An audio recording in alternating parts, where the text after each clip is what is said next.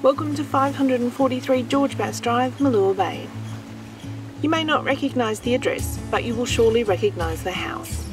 Located in an enviable position directly across the road from the iconic Malua Bay Beach, 543 George Bass Drive is an original two bedroom cottage with an open plan layout and not one but two garages. And it would be just fine as it is, a perfect weekend escape with great water views across the road from the park and the beach and the Malua Bay shopping precinct. There are a lot of potential options available. The level 607 square metre block had a DA in place that could be resurrected that would allow for two medical consulting rooms with parking for 12 and two two bedroom apartments upstairs. Malua Bay is undoubtedly one of the most popular seaside villages along the south coast.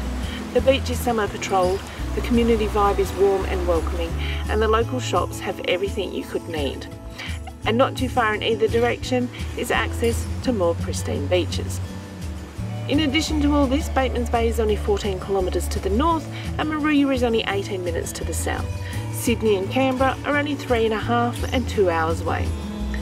543 George Bass Drive, Malua Bay is going to auction on Saturday the 15th of August 2020 and Karen from LJ Hooker Batemans Bay is highly confident that it will be sold on the day.